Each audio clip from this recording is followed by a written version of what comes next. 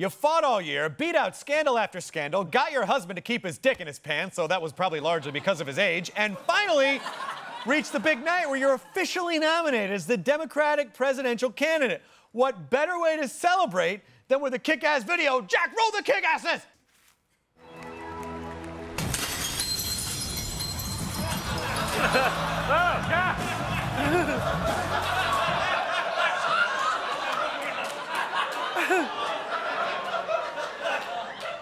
Yeah, that's what I'm talking about. Rise to the top and destroy all of your haters.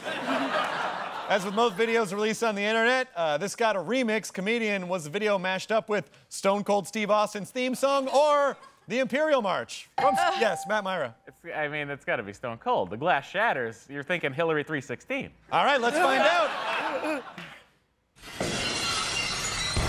Yeah!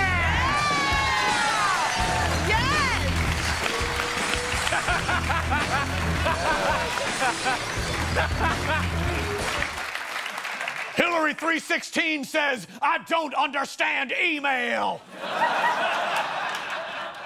How awesome, though. She smashed the ceiling, but cracked a smile. She did.